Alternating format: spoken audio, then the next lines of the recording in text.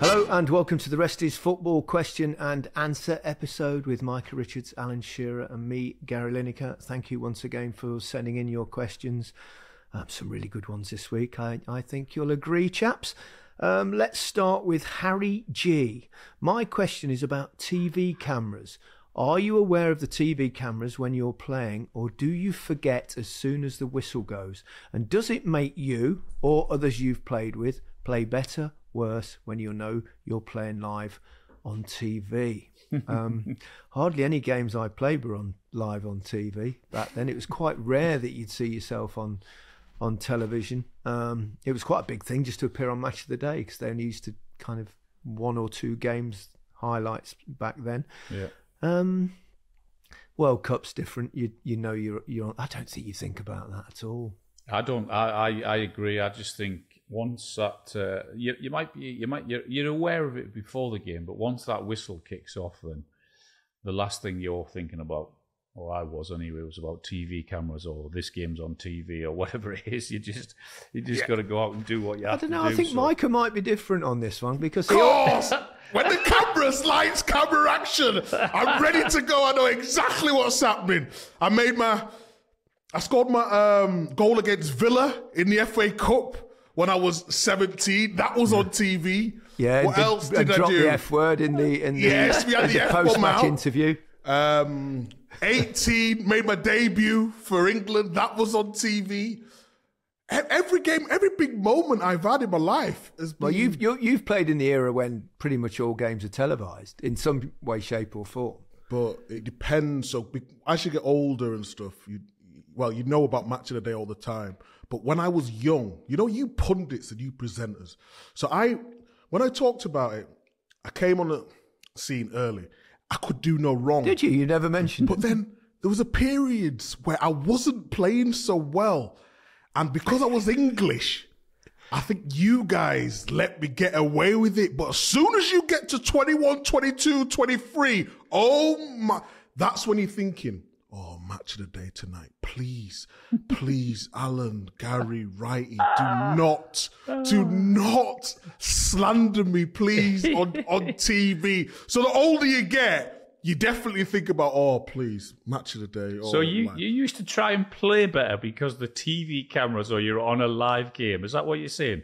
When, when I was younger, when I was younger, I was like Victory Shield. When I was under 16, I scored on TV as well. All the big moments come on. It's just, I don't know. It's something about the camera. Just, we have a great relationship, you know? Did you get your hair cut prop before Oh, when you were yeah. on telly? See, see, that's what takes Oh, me to, my- to you my- fucking knobhead. You did as well, didn't you? you did as well, didn't you? but the, the, the trims were different back then, you know. The, the, the trims are like HD now, you know. But but back then, yeah, I got I got butchered. a You had you had you had quite. An, I, I remember that interview. You had, you had like little swizzles. Yes, things, I used you? to have like a, a side part, a a swizzle. Oh, I had all sorts of trims when I was young, but yeah, that The swizzle. a little swizzle, yeah, Fuck's a swizzle. a little. I don't know, like a little. I think it's a salty snack, isn't it? Swizzle. I'm, I'm looking forward to Mike's answer to the next question, actually, from oh. Danny. With the dedication needed to become a professional footballer, what sacrifices did you make in your own lives to allow you to, to give everything to football in order to make it? Look at what sacrifices! these are jokes. These are people. These are jokes. These are jokes. I've stepped into character of Big Meeks now. I'm not. I, it was, yes, it was banter. That's all it was. so, do you guys want to go first, or We'll give the we'll give the professional answers, shall we? Yes, go on, Al. The sacrifices, what? Christmas, New Year, birthdays, um, summer holiday, or ev- everything. That's but they're all worth it because of the life you have. Weekends. Weekends, yeah. Yeah, but i- is it worth it? That, of course, it's worth it to be a footballer. I'm not saying that. That that sounded ridiculous. But you- don't you think you miss out on a lot of the social side? So I'm talking. You didn't. well, I didn't, but you, you guys outside of football because you're just like a robot. You go to training. You you know your boots are there for you, your kit's there for you. You, you get like a family there, and everyone outside of that bubble is like outsiders. So you miss the real social side. I'm not just talking about going out and drinking or whatever. I'm talking about just you know family, you know, and making the effort to to see people and all. I think it just goes out the window. I, I never felt like a sacrifice, though, did it? It was just No, but some- not a sacrifice. Yeah, not a just doing something that. that, The that, hard, do you know what the hardest part I think is, guys, is after you've been- like now, like knees and back and ankles and all of that. It's like, yeah, that's you know, you're training every day and you're playing and you're injured. And that, mm. that that's what you feel most when you retire. Or for me, anyway. Yeah, well, talking about retiring and stuff like that, that leads me on to the next question from Freddie Webb. Was there ever a moment in your career where you were going through a really bad period and you wanted to quit, retire, but you carried on going? Just like Beckham in 98 when he got sent off in the World Cup and got loads of abuse. Not for me. Alan, you had your terrible injuries, which might have worried you a little bit. Um, Definitely worried me, yeah. Um, the first one, not so much, but then the second and third one, without doubt. Um, I had to change my game, lost a yard of pace. So yeah, I mean, but there was never, there was never ever a time when I thought I'm done here. I always wanted to play till the end. I mean, the only time I made a, I went back on a U-turn. I said I was going to retire when I was 34, I think in 2004, five. I said that was going to be my last season, but then Graham Souness persuaded me to stay on for another year. But nah, it, it never got that bad that I thought I was ever going to retire because of injuries or whatever it was. No. I certainly didn't. Um, Micah might be different again here. No, But again, with your injuries, probably, Mike. Yeah, probably Which you, injuries, you, you had, tell me, you finished your career relatively early. How old were you when you finished? uh, I was when I probably played my last game. I think it was 29, but That's, I mean, that's official young. was That's 31. Yeah. Yeah. Yeah, it was. It was. It, was, it was I mean, I, I think for me, I just came to the realization that my body couldn't do do it anymore. Like Alan said, now the aches and the pains and all that sort of thing. I've spoke about my time at Villa. Obviously, it, it wasn't great, but you know, I don't have anything against Villa. I want them to do well. The fans were, were great with me at times. So, but it's just you, you, I sort of fell out of love with what came with football. You know, all the, the media side of things and the the people trying to be your mate just for the wrong reasons. That that side of thing. But I never wanted to retire. No, never wanted to give up. Um, Ewan. Hi, guys. My question is in commentary. How is it decided when the co commentator picks the man of the match? In European games, I've noticed that sometimes the British broadcasters will decide, while other times they don't. Are there any conditions in picking the man of the match? And has Alan ever given a man of the match that he's regretted after? Um, you're the only one of us that really's ever done that um, Alan. It is a funny thing that the co-commentator gets to decide who the man of the match is, isn't it? It Yeah. Must. It's also quite difficult because you're so focusing on you know everything that's going on, what you're going to say. You suddenly go, Christ, I've got to pick a man of the match. Is that is that how it is, or Yeah, I, that, I totally that way, Gary, because you're that focused on systems and what they're doing and bringing substitutes on and what who's doing what and what have you. So it's yeah, you sometimes. So I mean, sometimes it's it's blindingly obvious that if someone scores a hat trick, then that's that's who you. But then when it's a really tight and tense game and it's there's there's like four or five can uh, can get it, then it becomes a little bit more difficult. You've got to give your decision with about I don't know two or three minutes to uh, to go. Uh, I think I did one. I did one at uh, Wolves at Man United. I think it was Man United Wolves maybe a year or two ago. And I gave it, I gave it to a Wolves, a Wolves defender, and about a minute later, he scored a fucking own goal. I was like, did you take it off him? "Oh, I couldn't! How can you take it off someone? You just got to try and be as polite as you can." I'm thinking, "Oh no," but yeah, it's like- Commentator's curse. call absolutely, that, that's what it- that's They- how it that- works, that- yeah, that's yeah. going to happen. But that, yeah, I wonder who decided that. And originally, somebody somebody went. There's going to be a man of the match award, and the co-commentator is going to Has to decide who it decide is. it, yeah, it's- yeah, it's I've no idea how that started. Yeah, yeah. One Me question neither. I have: Why did they do it like five minutes before the game's up? Like the co-commentator takes you to the break, or takes you to the studio, Hmm. or to the like.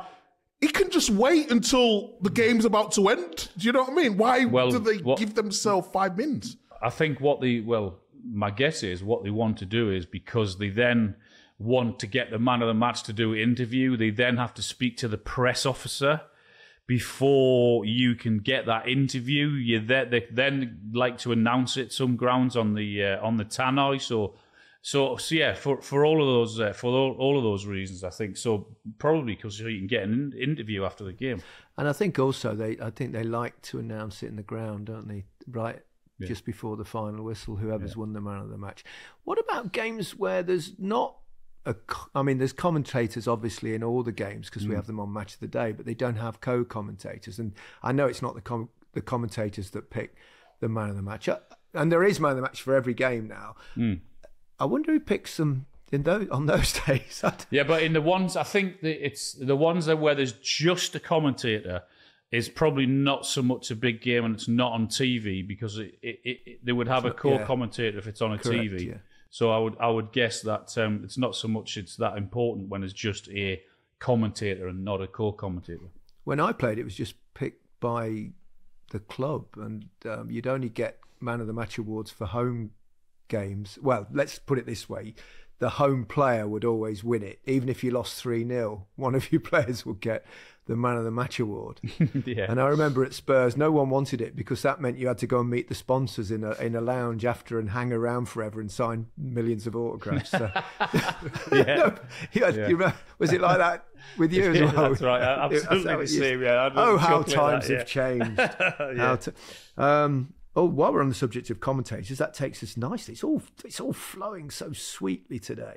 Um, Pab asks, start, bench, sell. John Motson, Barry Davies, Brian Moore. Love the podcast. Greetings from California. Thank you very much, Pab. Well, you're the you're the, you're going to have to answer this one because Micah Micah wasn't around in what what probably two of those were you? Do you remember Brian Moore, Micah, at all? No. He was ITV's um, football. Brilliant. Uh, Actually, they're all brilliant. And and actually, I know how um, how competitive and slightly insecure commentators are. So I'm going to swerve. I'm going to swerve this one. Oh, interesting. With Well, I- the shoes on the other foot. interesting. You want me to do it all the time, but you've All right, bottled okay, it. Okay, I'll go. Um, Barry Davies start. John Motson bench. It's all per. It's like it's a very personal thing, isn't it? Kind of. Brian Brian Moore because he was ITV and not BBC, so he can go.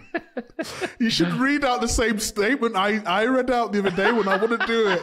Well, the truth is, Barry Davies is the only one al- alive, and he lives around the corner from me. So I'm definitely going to start with, with Barry Davies.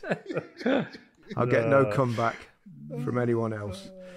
Uh, fantastic. It's actually somebody came to me last night. At um, you know, sometimes you have people who've bought an auction item. They come into Match of the Day and they get a little tour and watch the program. Yeah. Um, we had um, four guys last night, and one of them said, oh, "I love the podcast. I've, I've, I've got one. I've got one for you."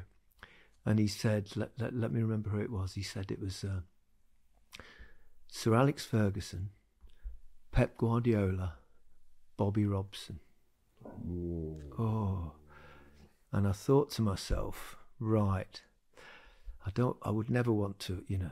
I couldn't. I couldn't possibly get rid of Bobby Robson. I, I just wouldn't. So, I think I'd go Pep Guardiola, Bobby Robson, and then Sir Alex Ferguson because I never got on with him anyway. So I don't care what he thinks. Oh. You never got on Good- with the great Sir. Alex Ferguson. No, no, he's had a few jibes at me over the years. Yeah. He was a bit anti BBC, I think. But anyway. Um, one from uh, David Hill. Hello, Gary, Alan, and Big Meeks. Really enjoying the podcast. Thank you. Who do you think has been the best English manager never to be given the England job? Well, that'd be Brian Clough, wouldn't it? Have to say that. We're all in agreement, yeah. Yeah, Oh, Brian Clough. Well, that was easy. easy. Yeah. Yeah. Um, Spencer Comer. During your careers, is there any clubs you wouldn't play for? If so, which club and why? I know what your answer is, Alan. I got hammered for my comment about Roker Park. I bet I you said? did. I was only telling the truth. Um, yeah, would, because of just because of where you are, where you're born, and who you support, and all that. You couldn't, you couldn't play for Sunderland, you?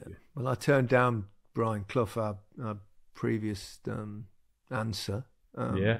Because it was one of the reasons you can't play for Forest when you're a Leicester lad. you, Micah? Wow. Um, no, I would have played for anyone. I've, I've, have I told you that Brian Clough tried to sign me? Do tell. For those that perhaps haven't heard this story, I was. Um, it was the end of the season. Uh, it was the season where uh, my last season at Barcelona, and I, I knew I had to move because obviously um, Cruyff came in and he you know messed me about, talked about that. So um, and he wanted his own foreign players, uh, perfectly understandable. Um, so I was obviously going to go somewhere, and had a bit of interest from various places, and um, it was one of those post-season tours with England, and we had a game in I think it was like Sweden or Denmark, somewhere like that. I think it was Denmark, and I was rooming with Peter Shilton as I always did, and I was actually on the loo. Um, most of my good stories about when I'm having a poo. Um, so. Uh, you are and, full of shit. Uh, and, exactly. and the phone and the phone went in the room, and I, I heard Peter Shilton answer it, and I thought Peter Shilton was the most confident bloke ever. You know, really, you know, really confident stuff. And then, but he sounded like he was a little bit in awe of whoever was on the phone. I thought, I wonder who he's talking to on the phone. So, and then I heard him say, um, um, uh, "Gary's on the loo. Um, hang on a minute." So, and then he shouted at me. So I, I came in, and um, Peter Shilton put his hand over the mouthpiece of the phone. He went, "It's Brian Clough," and I thought, "Oh shit, right, okay, blimey." So I walk over and um, picked up the phone. And, went, and he went, "Young man, have you washed your hands?" And I went, "Yeah, yeah, yeah, yes, I, yes, I have, Mister Clough." And he went, "Call me Brian." I said, "Okay." Um, tell me, are you signed, sealed, and delivered? And I went, well, no, not yet. I said I've got options. Um, I've got options, but nothing, nothing confirmed yet. So he went, would you consider coming back to England? I said, well, yes. I've definitely not ruled ruled that out at all. Would you consider coming to Nottingham Forest? I went, mm, no, not really. Uh, why not? I said, well, you know, if and, and I, got a bit tongue tied, and I said, well, you know, if I come back to you know English football, I'd, it'd have to be to one of the you know the big clubs. He, oh, I, Peter Shilton buried his head in, under his under his pillow at this point, and um, he said, Nottingham Forest is a big club. There's only Liverpool won more than us in the last ten years. I said, well, I'm I'm perfectly aware of your record, Brian. I said, I'm, it's you know, it's it's incredible what what you've achieved, but. you know, when I say a big club, I, you know, you know what I mean. One of the big grounds, one of the big places, London, etc. Um, if you understand me, he went, no, I don't. Call me Mister Clough, and hung up. and hung up on you. and hung up. Never, yeah. Brilliant. Never heard from him again. understandably so. Um, Blake Kester asks, with the season coming to an end and players thinking of their holidays, which other players have you or would you go on holiday with? I'm sure Meeks has a story. Uh, the best podcast by far. Well, high praise. Keep up the good work. Um, ooh, yes. Who would you want to go on holiday with? Ooh. I'd like to go on holiday with you too. That'd be nice. we could do a podcast every day. It depends what sort of holiday though, because I feel well, like fucking, after two days, fucking saga holiday for Gary.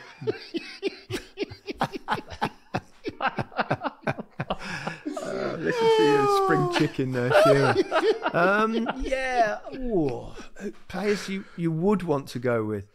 I don't think I could have coped with um, going away with Gazza. And uh, let me tell you, by the way, um, we have um, recorded um, an episode with Gazza. Might turn into two episodes. It was absolutely hilarious mm. and brilliant, and he was in fantastic form. And we look forward to uh, to sharing that with you. We're going to probably do it between the end of the season and the Euros. Um, I think you'll love it. And um, I was ill with laughter. Oh, oh goodness me! I haven't crying. laughed like that for a long time. Some great stories. Yeah. It was 90 minutes of hilarity, um, and, and, not just the fact that he can't get anywhere near saying Micah correctly. but it won't spoil. No spoilers. No spoilers. Okay, no spoilers. Yeah. I would have liked to go to Vegas with Big Meeks just for a long weekend. Oh! back in the days, if I t- back in my 20, 19, 20, 21 days, that's when I was in my prime. The prime of partying. The prime of partying. who, who would you have wanted to go away with? Mario Balotelli? No, because Balotelli, if you go with Balotelli, he's too famous. You get caught when you with Balotelli. You know, you can't be sneaking and, you know, you can't be getting. Sneaky. He- he's too loud and he gets caught too much. Yeah, you've got to go with people who, you know, know how to move correctly on a night night out so you don't get caught. and I'm not naming any players because I don't want to incriminate any of my former teammates, but we had some great times. Oh, I'm reminiscing about it now. so are you sweating? Dahini Drive, Yeah. Los Angeles. Oh my lord! Parties. I, re- I think you should leave it there, Meeks. Uh, where did it all go wrong? Um, which brings me perfectly to a question about George Best. Uh, Benjamin Smith, as a long-time listener, I don't think I've ever heard any of you mention George Best. Uh, what do you think of him as a player, and what if George Best had played for England? Um, well, he was, of course, from Northern Ireland, so. Um, I mean, you wouldn't have seen him play, Micah. Um, Alan, did you, did you catch him at all? Probably can't remember. I'm probably the only one old enough Yeah. to remember. He and he was on. He was. I mean, he was so brilliantly gifted. Um, wide player most of the time, ghosted by people as though they were they were standing still. And the bits, some of the bits that Um, I saw, Gaz, in terms of, uh, you know, when you're on about the, the pitches and the dribbling and how he went past players and how players could side you down Then I mean, he made it look so easy on the bits that I saw. Yeah, I I mean it's also difficult with different eras, but you know, if any conversation about the best um, sort of British player ever, he'd have to be right in it, wouldn't he? He was he was Oh. he was so good. Him and and Bobby Charlton would probably be the other one. They're both in the same team, the Busby Babes. Yeah. Um, but yeah, unbelievable talent. I, I, I, I met him a few times. Um, in, in fact, they did the um, the FIFA Best 100 or something, where they 100 all time um, best players. This is just me trying to give myself a mention of getting in the top 100. But um, I was, I was. There were a few um, kind of British players there, and I was there. Michael Owen was there, and George Best was um, kind of latter stages of his life, really, and he was he, he was drinking so much that I remember when we walked in for the presentation, Michael Owen was on one side of him, I was on the other, basically holding him up, um, which which which felt a bit, you know, obviously sad, and we all know, Yeah. you know what happened to him, but um, he was a lovely, lovely man. I mean, he he really was, um, and obviously had his you know alcoholic problems, but and, and health issues, but but what a footballer! What a footballer! Yeah, what a talent, yeah. Yeah. Dave Gooderham. As a former regional journalist, what's been the biggest row you have ever had with a journalist? And what has been the biggest lie you have read about yourself in the media? Cool, been a few of those. Um, I know you don't. I don't. I can't remember really having any rows with. There's a few times I've read stories where you know that had um, piss you off. That that still goes to this day, usually in the Daily Mail. Um, but um, I can't remember confronting journalists. I, I mean, we used to get on quite well with them um, in the England days that I played. They were always on the trip. You used to fly with them, travel with them, yeah. You used to Yeah, go on the were always on same the plane and everything else, Yeah. didn't you? Yeah, it used to be a right pain in the ass waiting for the because they had to all file their reports, and you were sat there on the plane waiting for them to to do all that and then get back on. And so, yeah, it was it was very different back then. One, it was certainly better relationship. Yeah.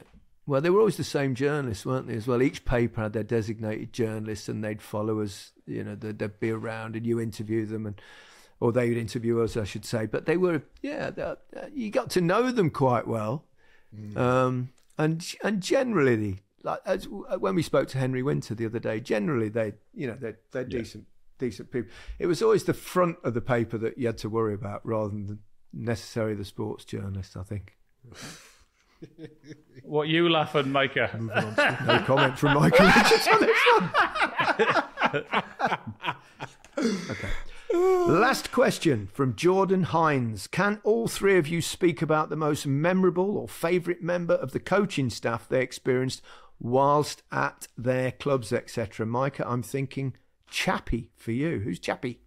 Oh, Les Chapman. Ah, yes. He, yes. he was the kit man at Man City for as long as I can remember. Must be 20, 20. He's left now, but he was just a brilliant bridge between the managers, the the like the medical stuff, and mm. and the players as well. You know, somebody who just links it all together, and he would be totally honest with you as well. Like if he said, he like if he played rubbish he would tell you he'd play rubbish. He was none of that sugarcoating nonsense, and he would stay out longer if he needed, you know, because some kit men want to be done by two, three o'clock, don't they? But he would stay and he wouldn't moan, he would leave kit, say I could take kit. He was just an absolute diamond of a of a blow, uh, of a fella. Les Chapman at Man City. You build up, certainly I did anyway, great relationships with the kit men, um, with the physios, um, uh, it, all my clubs, Southampton, Blackburn, and, and Newcastle, um, the kit men were amazing.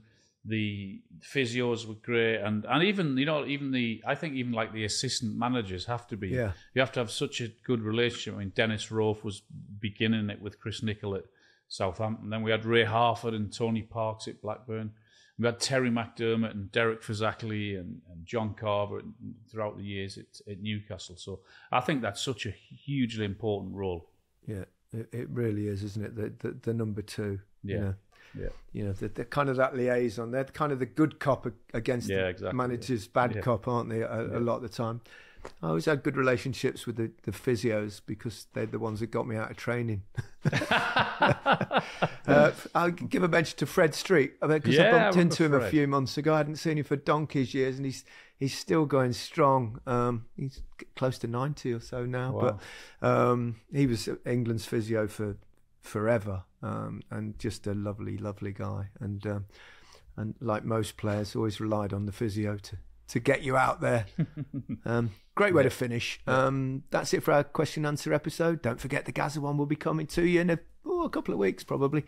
Um, you'll love that. But um, for now, goodbye from me. Goodbye from me. Goodbye from me.